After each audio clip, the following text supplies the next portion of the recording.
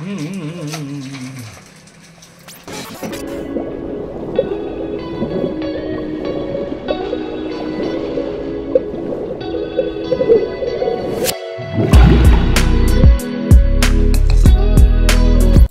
दोस्तों, मेरा नाम है राहुल और ये हमारा हिंदी चैनल है फ्रैपर एक्वा हिंदी तो ये वीडियो में हमने ये बड़ा वाला मॉन्स्टर टैंक बनाया हमारे अरवना के लिए जो हमारे साथ चार साल से हैं। अगर हम हमारे इंग्लिश चैनल फॉलो कर रहे हैं तो उसमें आपने देखा होगा, इसका जो मैं, जब मैं लाया था, बहुत छोटा था, छोटी थी, और अभी ये है ऑलमोस्ट बीस इंच से ज़्यादा ऊपर हो गई है तो पुराने टैंक में इसके लिए जगह नहीं था, इसलिए हमने ये एक टैंक बनाया बड़ा वाला।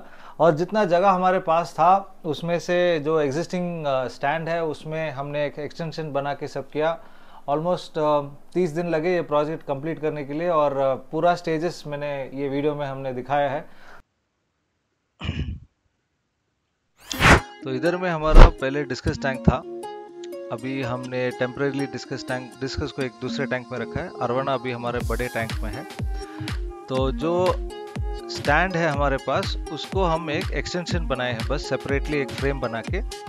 तो जितना जगह है उसके अंदर हम एक बड़ा वाला टैंक प्लान प्लान कर रहे हैं। तो ये फ्रेम जो है इसको फिक्स हो जाएगा ये फ्रेम पे। तो अभी जो नया टैंक बनेगा, उस 33 इंचेस डेप्थ 45 इंचेस विड्थ और 18 इंचेस हाइट होगा। ये जो नया फ्रेम हमने बनाया है, उसको हम अभी ड्रिल कर रहे हैं एग्जिस्टिंग फ्रेम को। तो एक स्टेबिलिटी मिलेगा इसके लिए। हम इसको ड्रिल करके फिक्स कर रहे हैं इसके ऊपर।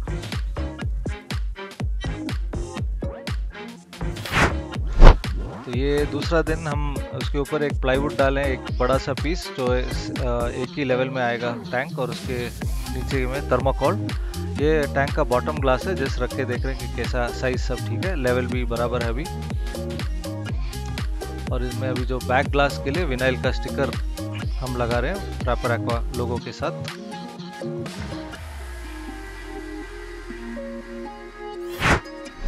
तो ये डे फोर है, चौथा दिन जब हम टैंक बनाना शुरू किए। ये टैंक हम घर में बनाए बिकॉज़ बहुत बड़ा टैंक है तो इसको लेके आना भी बहुत मुश्किल है। सिलिकॉन डालने के बाद इसको हमने क्लैंप किया है। सो so, क्लैंपिंग के बाद ये फाइनल राउंड ऑफ़ सिलिकॉन हम डाल रहे हैं क्योंकि अंदर से भी एक कोट सिलिकॉन डालना बहुत ज़रूरी है क्योंकि ये बड़ा सा टैंक है।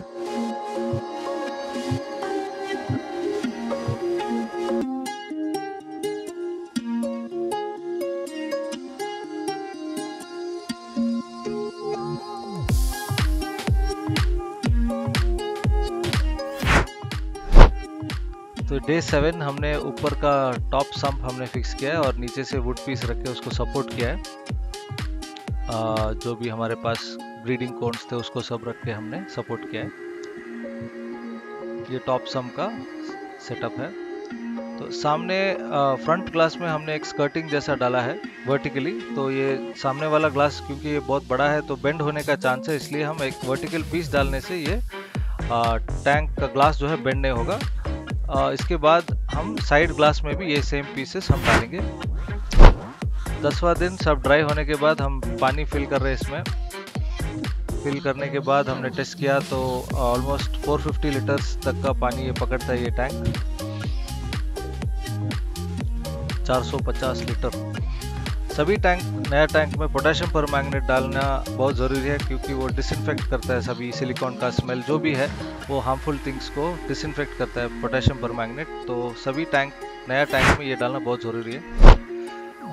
ट्वेल्थ डे हमने इसको उठा के उसकी जगह पे रखा, बहुत हेवी था टैंक और फाइनली वो काम हो गया। टैंक अभी अपनी जगह पे है।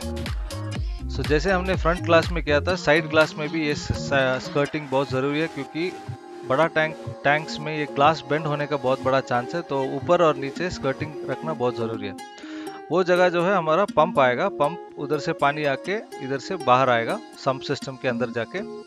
पंप को हम थोड़ा पानी के ग्राउंड लेवल से ऊपर रख रहे हैं क्योंकि नीचे का सब वेस्ट वो खींचेगा नहीं। और अगर पंप फेल हो गया फेल हुआ तो भी वो पानी पूरा ख़त्म नहीं होगा टैंक में। तो एक बॉटम में एक ऑलमोस्ट वन फीट का तक का पानी रहेगा टैंक में।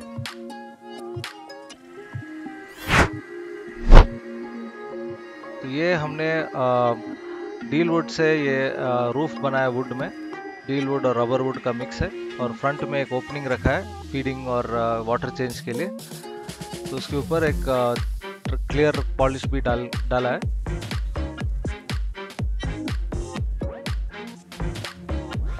उसके अंदर में एक छोटा सा ग्रूव्स डाले हैं, जिसके ऊपर वो ग्लास के ऊपर बराबर से बैठेगा।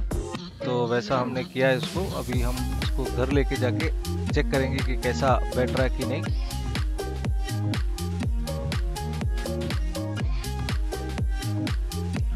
तो अभी ये बराबर से बैठ गया घर पे आ, तो अभी वेट और लोड सब बराबर है तो बराबर से फिट हो गया ये।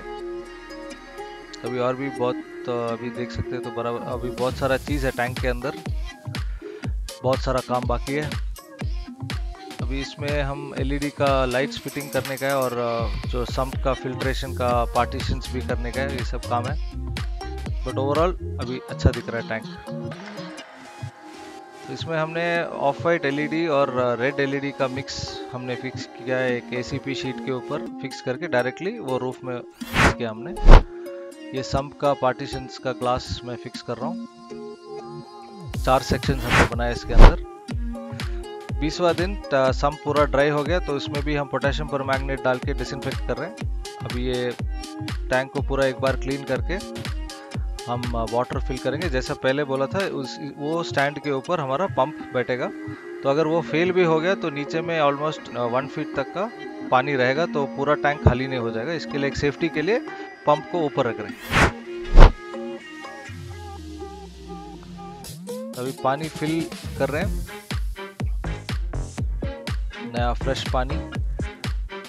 450 लीटर पकड़ता है ये टैंक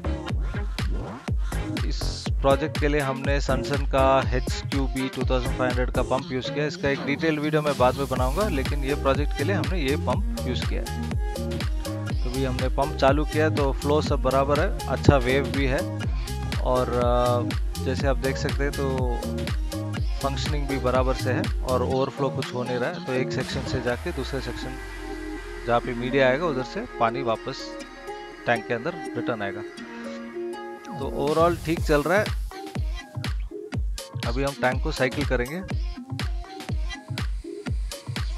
तो तीसवा दिन आ, क्योंकि ऑलरेडी ये टैंक था तो उसमें जो मीडिया और स्पॉन्ज थे हमने ये नए टैंक में डाल के यूज़ किया तो टैंक का साइकिलिंग जल्दी हुआ। तो आठ दिन में हमको अरोना को शिफ्ट कर सकते थे हम। तो अभी अरोना को फाइनली शिफ्ट कर दिया और वो अपने नए घर में है अभी। अभी उन, उसको तो बहुत सारा जगह है अभी ना अभी वो आराम से घूम सकती है और घूम फिर सकती है। पहले पहले वाले टैंक में डेप्थ बहुत कम था तो उनको, उसको बहुत प्रॉब्लम होती थी। अभी उसके लिए बहुत सारा जगह है और हमेशा अरोना जब हम रख रहे हैं तो डेप्थ में डेप्थ रहना बहुत ज़रूरी है टैंक क्योंकि ये बहुत लंबा वाला मच्छी है तो उनको घूमने के लिए जगह हमेशा रहना चाहिए। Overall this was an exciting project सब ठीक से हो गया एंड अभी वो आराम से घूम सकती है टैंक में।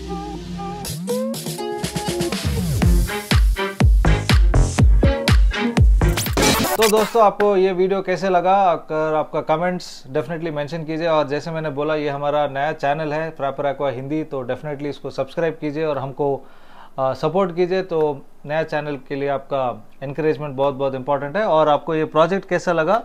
डेफिनेटली अपने कमेंट्स मेंशन कीजिए तो अच्छा रहेगा। तो अगले वीडियो आने तक बाय